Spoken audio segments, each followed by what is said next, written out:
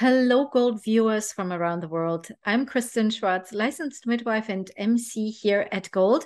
And today I'm chatting with Sonia Story. Welcome, Sonia. Welcome. Thank you, Kristin. Nice to see you. It's lovely to have you here today. And uh, Sonia, you will be presenting at our upcoming Early Years Symposium of 2022.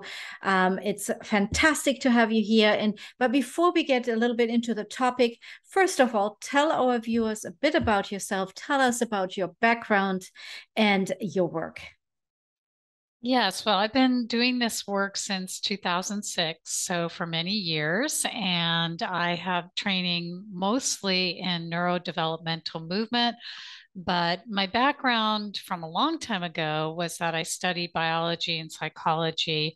But much mm-hmm. later in my life, I learned how important the innate movements of infancy are to our overall functioning. And um, it was so fascinating for me. And it was at a time and a place where I could go and get training from mentors. And I ended up going, uh, doing a lot of traveling and um, taking courses and um, got to learn from some of the best mentors in the world in this field and been happily using these tools and teaching these tools ever since. So I've taken over 50 courses in neurodevelopmental movement. Mm. And I have a lot of training in other modalities like different body work modalities and touch for health.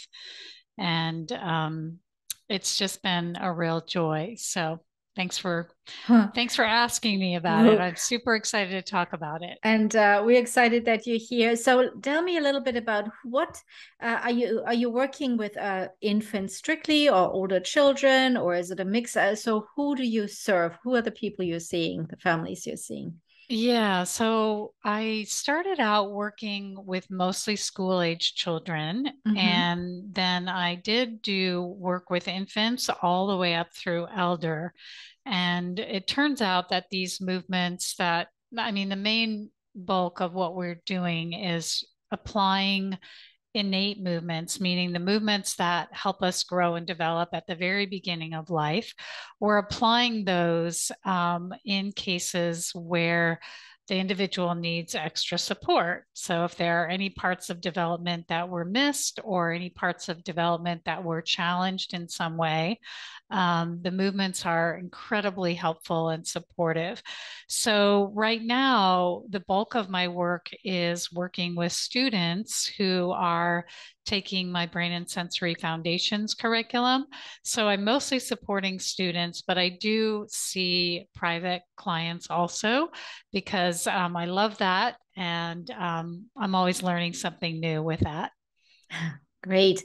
So tell me a little about your programs you're teaching. Uh, you you talked about your students there. Who uh, who can take these programs and give us a little overview of what is in these programs? Sure. So anyone can take them. Um, they are designed for adults. Um, most of the adults who take them are working with children, but they really, because they're so deeply impactful for the nervous system, the movements work for all ages and all skill levels. So you can mm-hmm. apply them to infants, you can apply them to the entire age range. Um, we've had adults taking the course on their own to help themselves with trauma. Hmm, and um, so anyone can take them. Um, mostly right now, I'm serving professionals and parents. And the professionals that are typically taking the course are occupational therapists, physical therapists, um, lactation consultants, um, mental health therapists, and um, sometimes vision therapists, sometimes health practitioners, and speech and language pathologists, um, sometimes social workers. Um, but it's been um, a joy for me because I've gotten to see how the work applies. Oh, we also have a lot of myofunctional, um, mm. oral myofunctional therapists who are really interested in it and finding it very helpful for their clients. So like I was saying, it's been a joy for me to see how this this set of movements that are really um, our innate uh, birthright how they are supportive and helpful for so many different areas. And I think that they are fundamentally useful because our brain and body know what to do with them. Mm. So they're very geared toward maturing the brain, the body, and the sensory systems. And they really help us relax our um, any kind of nervous system imbalance like if you're in a state of fight or flight a lot or if you're in a state of freeze um, they mm. really help us balance and nurture and mature the brain and the nervous system and um, so that's what we do and the the program goes through a very comprehensive uh, set of infant movements and um, and then some supporting tools as well. So we really are taking the magic of development because we know development is so incredible. Mm-hmm. Um, we're taking the the magic of the development and applying it at different ages and stages for the purpose of optimal functioning. That's absolutely fascinating to me. Um, mm. What a wonderful concept, and and something you said earlier that really uh, was very interesting to me. You said if something was missed in the development and using the set of innate movements, they you can kind of make up for that. Did I understand that correctly? That you can you know uh, so if, if it was missed you can still work with it and uh, you know uh, develop it yes absolutely mm-hmm. and that is the thing that is so fascinating because our brains and our bodies recognize this movement it's like a template yeah. and all human beings no matter where they are in the world, will use this same template of movement mm. as hmm. long as they're not stressed, as long as they're healthy, and as long as they have room to move. Um, and we know that in during development, the brain grows the fastest at any time in life. Well, part of the reason it's doing that is because of these movements. It can't grow without them. Uh, it can't fully and optimally grow without them. And so the brain needs a lot of stimulation. The body needs a lot of stimulation, which is why we come with a whole range and repertoire of innate movements.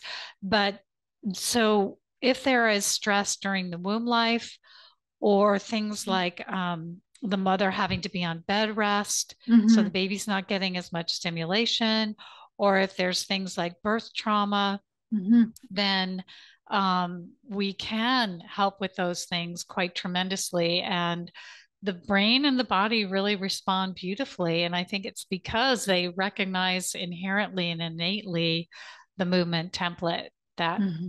And, and the brain and body just kind of takes over. They know what to do. So what I say is it's like giving the brain and body food. It's uh, truly nurturing and um, invigorating for the whole system.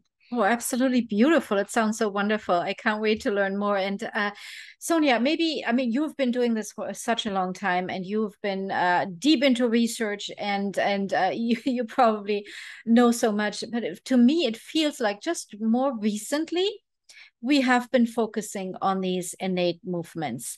I feel like a few years back, nobody really, I mean, maybe besides you, you know, have been talking so much about it. And now we see how important these are mm-hmm. and, uh, you know, how beneficial, what that not only beneficial, we need them and we need them to grow and develop. Have you seen this too, that there is now more focus on it or more understanding or what's going on here?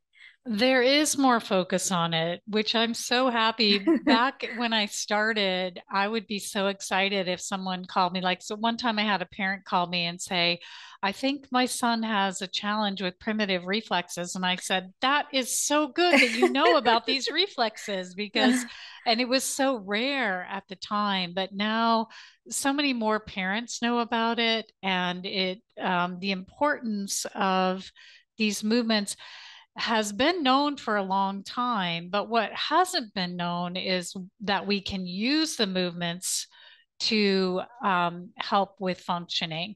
Um, it has been applied um, in that way for children with really severe challenges like cerebral palsy. Mm. But as far as children with things like sensory problems, ADHD, um, under functioning, um, problems with um, muscle tone and things like that.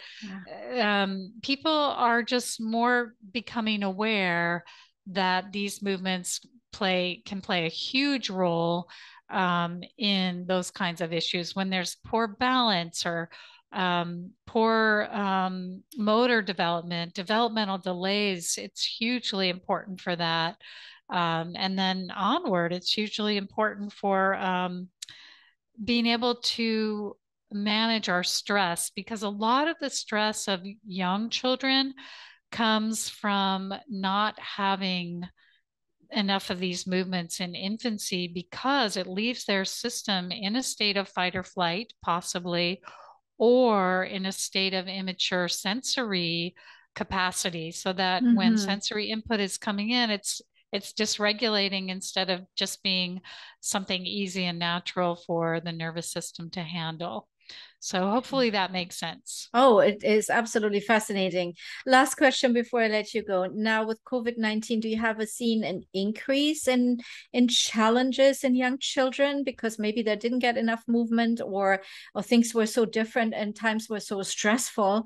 Um, do you see that? Have you seen I or... do. Unfortunately, we're seeing um, a, a, big increase in anxiety. So mm-hmm. this is quite sad to me to see children who should be out playing and mm-hmm. enjoying life to be um, much more anxious. And so I'm in the process now of trying to develop a program in my community for parents with some um, helpful tools so that they can help their children with spe- um, anxiety specifically. Mm.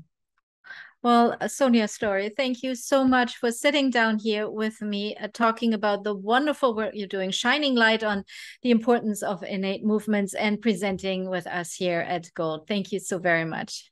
Well, thank you, Kristen. I'm really excited to connect with everyone during the presentations. And now some information for our viewers. This presentation uh, titled The Importance of Innate Infant Movements for Neurodevelopmental Challenges is part of the Gold Early Years Symposium of 2022. And uh, we have a two-day symposium here in September 26 and 27. This presentation will be live on September 27. All presentations are live, but they're also recorded. So don't worry if you have uh, commitments or you feel like you cannot be there live. Everything is recorded so you can watch it at a time that's convenient for you. And of course, our presentations are accredited. So if you would like to find out more about Sonia's presentation and the other presentations in the symposium, we would like to invite you to go to goldlearning.com. And I hope to see everyone at the symposium. Bye bye, everyone. Bye. Thanks.